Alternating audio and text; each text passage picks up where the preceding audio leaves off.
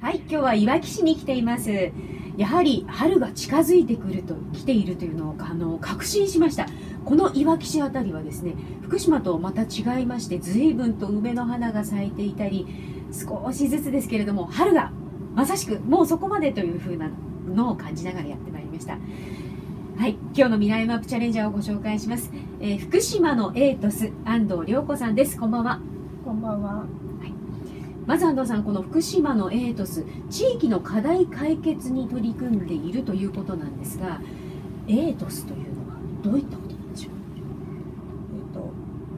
エイトスの活動うはい、ですよね。あの今はあのいわき市の一番北部にある末継地区というところで、住民の皆さんと一緒に放射線を測って、でそれをあのまあみんなでお話しして、先生とお話をしてという、うんそういう活動をしてます。先生とお話をするということは、そういう専門家の方々と？そうですね。あの今はあの福島県立医大の宮崎誠先生にずっと関わっていただいて、お手伝いしていただいてます。このエイトスというのは、カタカナでエイトスなんですけれども、どういう意味なんでしょうか？あのまあ、言葉の意味そのものは昔のギリシャ語らしいんですが、あのこのエイトスという単語そのものはチェルノブイリ事故の後のベラルーシで1996年頃から行われたあの住民の方たちそこで暮らす住民の方たちのあの生活をやりやすくするというそういう活動がエイトスという名前ええでされてたんですね。はい、でまあ、それを私は知ったので、そこからあの名前を借りて福島のエイトスというふうにしました。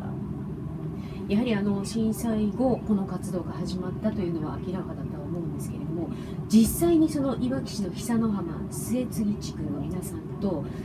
こういった活動を始めようというふうになったきっかけというのは何だったんですか？あの私は最初にあの小さな勉強会を2011年の9月に行いまして、でまあ、あのそれを知った末継地区の遠藤信也さんという地元の方がご自分で末継地区で測定などをされてたんですけども、まあ、自分たちも勉強会をしたいというふうに声をかけてくださいましてそこからが始まりです。あの末継地区といいますと、私もあのなかなか名称を聞いたこともなかったんですけど、非常に小さい集落といいますか、そういった地区だというふうなふうな認識なんですが、実際にはその地区でどのような取り組みをされているんでしょうか？あのまあ、前提にあるのが、えっと自分たちの測定値を自分たちで測るというところです。今行っているのはあの外部被曝は個人積算線量計をやってますしで週に一度食品測定を週に会場でやってますそれから年に2回ホールボディカウンターの測定をしてましてで、まあ、あのそこのそういうふうな地域の放射線の状況ですね。それは、まあ、あの全体的に分かるようになってまして。で、まあ、その結果をもとにこれをどう考えるかというようなお話をするという活動ですね。そうすると活動自体は、えー、と4つに分けられていると思うんですが実際にその食品というお話がありましたけれどもあのどんな形でされるの地区の中に集会所がありましてでそこで今は、えー月に1回なんですがもう少し暖かくなるとうん。週に1回火曜日に、測れるようになってましてでそこで、まあ、支援相談員をしている私以外にもう一人女性がいてでいつでもあの皆さんあの測りたいものを持ってきてくださいっていう形でやってます。あの地区でそういう取り組みをされるというのは珍しいですよね多分あの末継地区だけだというふうに私は聞いてます。福島県内にはい。ですか。あのそういった取り組みの中であの住民の方々も一緒にやってらっしゃると思うんですけども住民の皆さんはどんなふうに？そうですね。やっぱりあの身近で測れる場所があるうんということでそれであの安心できるというふうに言われる方多くてあのちょっと不安ちょっと知りたいっていう時に気軽に足を運べるのであのすごく不安ですごく心配じゃないんだけどそのちょっとが解消できるのがいいっていうあーですね。はいあの放射線っていうのは見えないものなんですけれども見えるものになると安心っていうのはすごく大きくなりますよね。ですねあの例えばあの目の前にある何か食べ物をこれはどうなんだろう。もしかしたらちょっと心配、うん。心配じゃないかなみたいなところを持ってきてパッと測ってで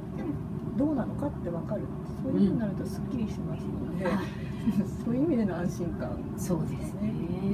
あの震災から5年が経ってまだまだこれからこの福島、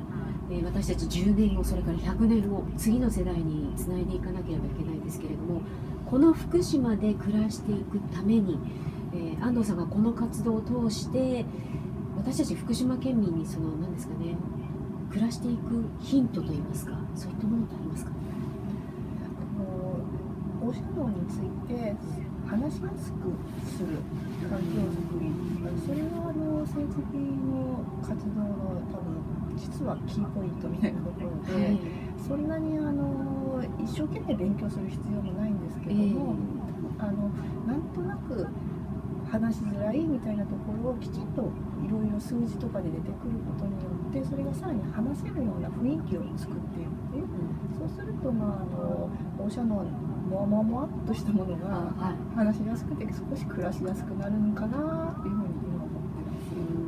あの久の浜清津地区というのはやはり一時避難をされていらっしゃいます住民の方々というのは非常に大きな不安もあったと思いますけれどもそういうふうにして話せる場を作るあの安藤さんがやってらっしゃるのはその放射線の勉強会とかそういったことかもしれないんですけど地域をコミュニティを作ってらっしゃるということにつながってますね。ですねあの地元の方で、え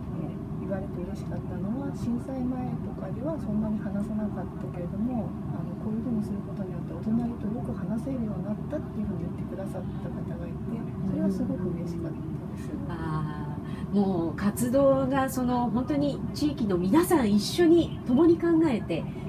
自分たちのふるさとを作っているということになりますね今日お話を伺った、えー未来マップチャレンジャーは福島のエイトス安藤涼子さんでした。ありがとうございました、ありがとうございました。はえースタジオにお返しします。